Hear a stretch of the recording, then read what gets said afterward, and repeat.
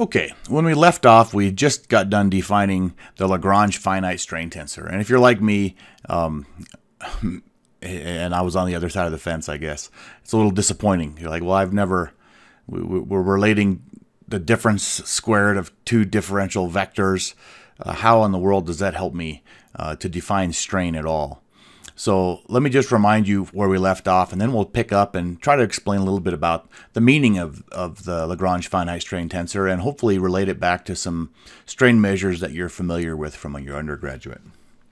So we defined a measure of change in length of a differential vector during deformation as, as I'm showing you here, dc squared minus dx squared is equal to 2 times eij, where eij was that Lagrange finite strain tensor, times dxi times dxj. And we had defined the Lagrange finite strain tensor Eij as 1 half times fki fkj minus delta ij. So f, remember, is the deformation gradient tensor. Okay, so we want to we want to make we want to make a little bit of meaning of this. So let's just say here, what does this mean? Um,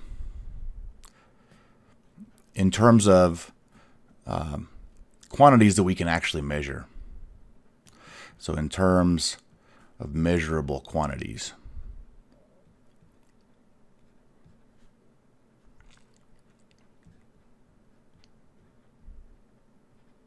Okay, so what we're going to do first, and just a, a, few more manipulations to get there, we're, we're going to divide uh, this top expression here by the quantity dx squared, the magnitude of dx squared. So, um, so we'll say here, let's go ahead and divide by the magnitude dx squared. And so that gives me dx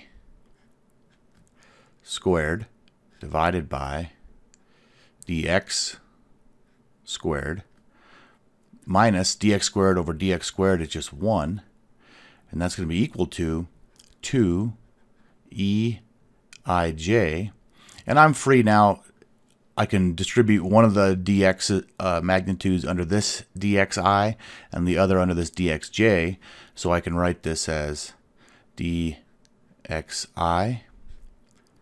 over dx times dxj over dx these are vector magnitudes. Okay. So, what have I done? Well, let's let's first look at this right-hand side. What is the what is the quantity when I take a vector and divide it by its magnitude? Well, it's a unit vector then, and it's just a unit vector in the direction of the original vector. So we would actually just go ahead and call that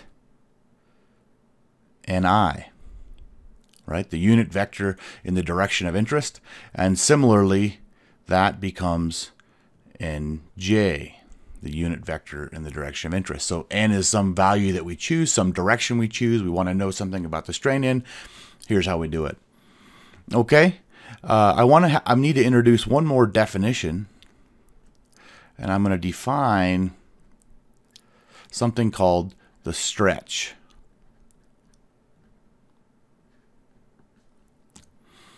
Okay. So what is the stretch? The stretch formally is the change in length, the magnitude, uh, sorry, not the change in length rather, but the length of the new segment divided by the length of the original segment. So what does that mean? That means a stretch of 1 means that nothing happened. And a stretch of more than one means that we have a positive a stretch. A stretch of less than one means that we're having a, some sort of a compressive. So how could we, we could also write this if these are the, the change or the, rather the length of the new divided by the length of the old, we could write this in our sort of uh, freshman notation as L divided by L naught. So if we use that definition, we can then rewrite the equation above as, so this is squared now, so this looks like lambda squared minus 1 is equal to 2 eij Ni Nj. Okay? So hopefully we're starting to get somewhere, and now something like L over L naught is a quantity that I can measure. Okay? Okay, so what does this equation tell us before we, we move on to anything else? This says that, this implies that, that the stretch in any direction n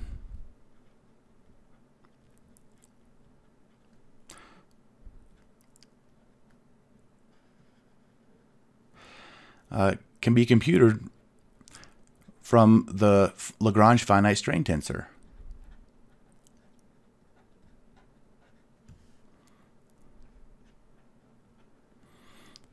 From EIJ.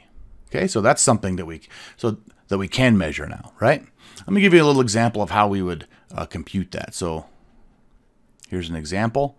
Let's go ahead and consider the case where n is just going to be in our one of our coordinate directions. So it'll be 1, 0, 0, let's say. Okay.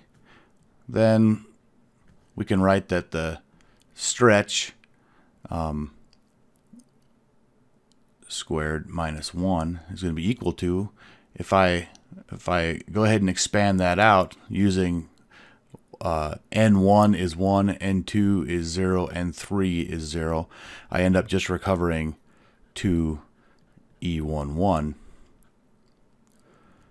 So I could rewrite that as uh, lambda is equal to the square root of 2e11 minus 1.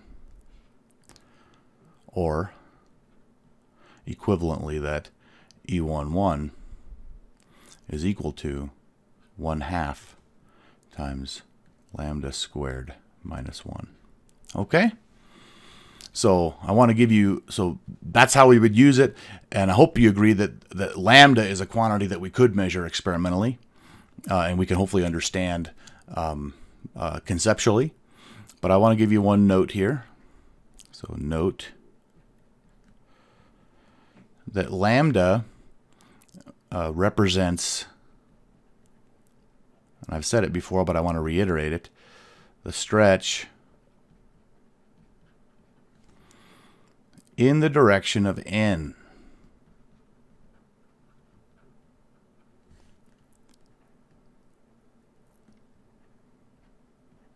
Okay, so even though we've used this example to to show that E11 happens to be to give us the stretch in the direction of n, we could choose any n we wanted and use this equation to compute the stress in that direction. So regardless of how complex the loading state or anything like that, we could get the stretch in, in that direction. Okay. Now let's let's finally talk about the definition of uh, strain from our freshman year. So here we go. We want to now let's look at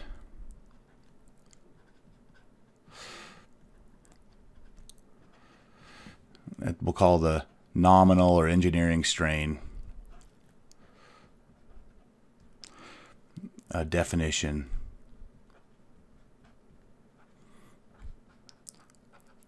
from your you know your your freshman year or your mechanics of material class.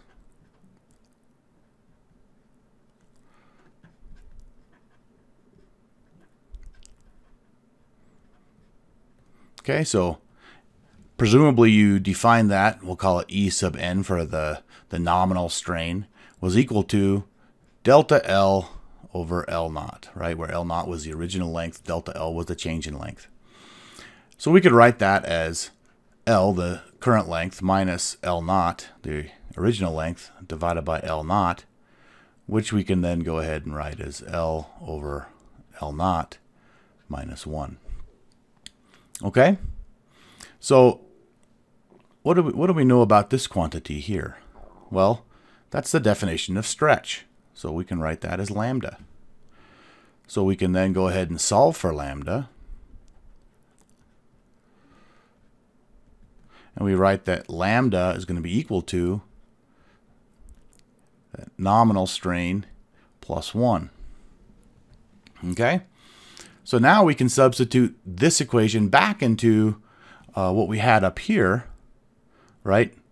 we can substitute it back into this equation right here and ask how does this EIJ term that we defined relate to the delta L over L term that we're familiar with. Okay, so so let's go ahead and substitute uh, into the expression uh, for the Lagrange finite strain tensor.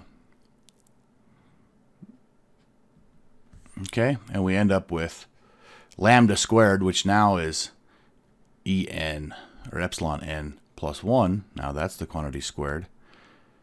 Minus 1 is going to be equal to 2 eij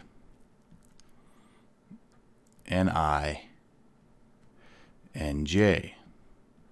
Okay?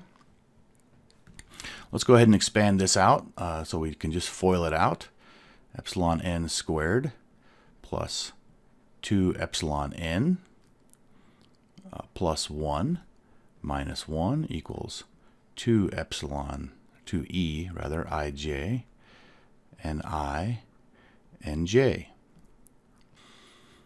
So our 1s will cancel out, and I'm going to go ahead and divide everything by 2, and it, I end up being able to write epsilon n plus 1 half epsilon n squared is going to be equal to eij ni Nj. Okay?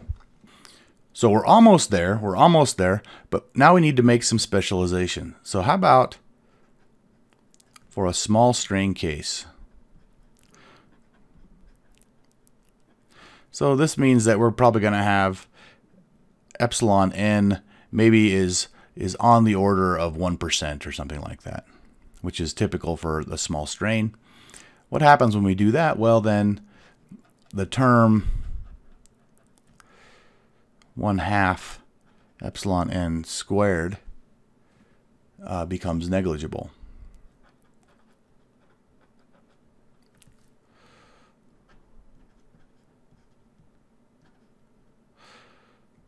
Negligible. Okay? So what does that mean? That means that we can then write that epsilon n, the nominal delta L over L that you learned long ago, is approximately equal to E i j n i and j. Okay? Okay, so what we could do here is we could go ahead and plug in uh, n is equal to 100 and get that the nominal strain in the the one direction is E11.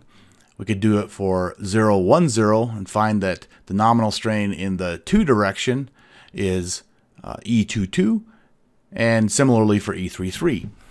Okay, so what does this mean? This means that E11 E22 and E33 give the familiar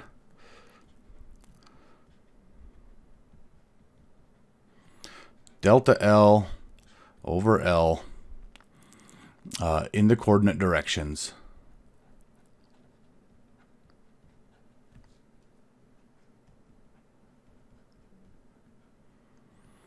uh, for the small strain case.